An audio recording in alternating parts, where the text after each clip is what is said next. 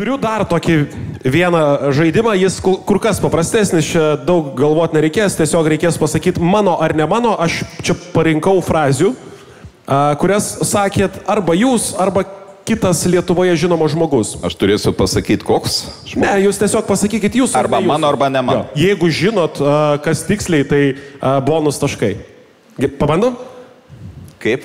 Nu, Pabandom? pabandom, man Pabandom? įdomu. Gerai. Pirmas toks. Šachmatų terminais kalbant, rokiruoti įmanoma tik tada, kai tarp karaliaus Mano. ir bokšto nėra figūrų. Mano.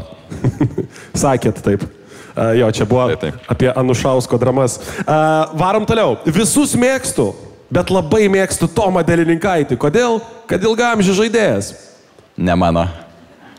Tai buvo 2019 m. Gitano Nausėdos citata Klaipėdos arenoje.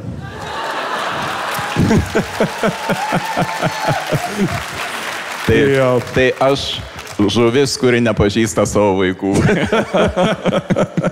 Jo. Ir vėl jokauju. Klausykit, man tie jokai baigsis. Taigi rinkimai. Jo, kažkas prisijokaus ir eis per galinę šiandien. Gerai, dar viena tokia.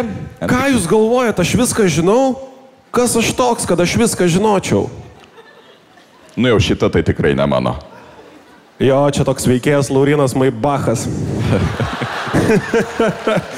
jo, jo, jo. Labai dabar įdomi kita yra.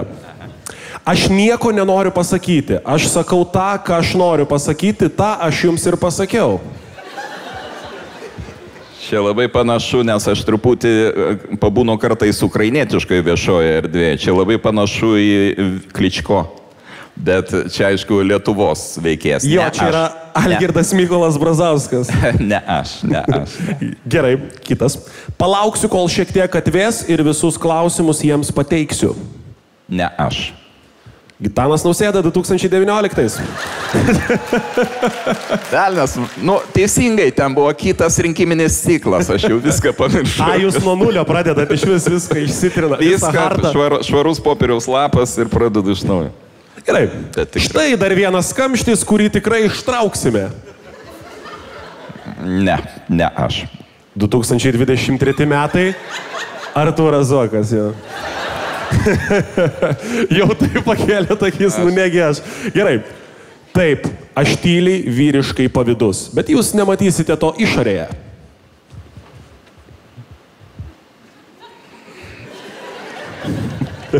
Ne, ne, ne, ne aš.